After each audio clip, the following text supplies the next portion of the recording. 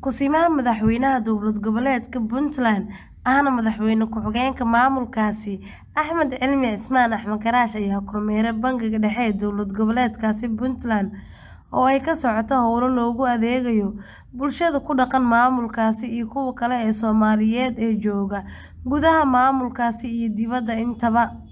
Madaxweyne ku-xigeenka ayaa intii uu ku guda jiray kormeerka waxa uu kormeer ku tagay qeybaha kala duwan uu ka kooban yahay bangiga maamulka, isagoo u kuurgalay sida shaqadu u socoto.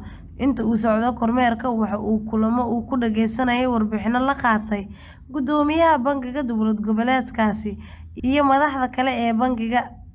Madaxda bangiga ayaa dhammaan warbixin ka siiyay Madaxweyne ku-xigeenka sida uu bangigu bulshada ugu shaqeeyo iyo waxyaabaha lagama maarmaanka ah ee bulshadu u baahan yihiin. Ugu dambeyn, Madaxweyne ku-xigeenka ayaa bogaadiyay mas'uuliyiinta bangiga iyo shaqaalaha ka shaqeeya, waxa uuna faray inay sii laba jibaaraan.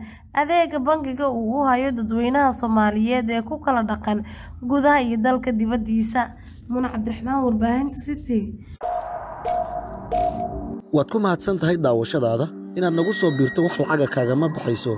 Keliya waxaad u baahan tahay inaad falow saarto boggeenna facebook ama aad sabskraib dhahdo janaalkeenna youtube adigoo bartilmaameedsanaya city somaali t v an rediyo la jaanqaad warbaahinteenna oo hel warar iyo barnaamijyo adiga kaa hadlaya